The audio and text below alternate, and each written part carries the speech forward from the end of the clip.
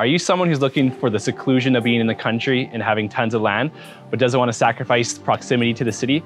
Well, I got the perfect property for you today. My name is Michael Waddell with Remax River City, and I can't wait to share with you this beautiful property in Lakeshore Estates. This 2,000 square foot fully finished bungalow has five bedrooms, a triple garage, and one of the nicest and well manicured landscaped yards you'll ever see. Welcome to One Lakeshore Boulevard. Let's go check it out.